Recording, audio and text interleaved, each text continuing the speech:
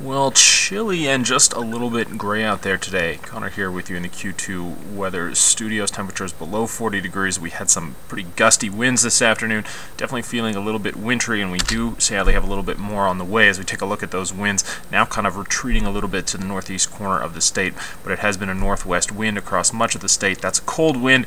That's bringing us a little bit more cool weather for the day tomorrow as we take a look at to our northeast. Cut Bank, Great Falls, Lewistown. Temperatures about 10 degrees colder than than us. Going to bring us a little bit of a cool down as we head into the day tomorrow. And that cool down is actually part of a larger scale system as we look at the whole country here. Very cold temperatures in Minneapolis, Chicago, even 35 degrees all the way down in St. Louis. We're actually a warmer high temperature than them today as we're kind of on the warmer side of a cold border, and we're going to see that warm air push in later in the week. Now, let's talk about tomorrow because we do have some snow heading our way.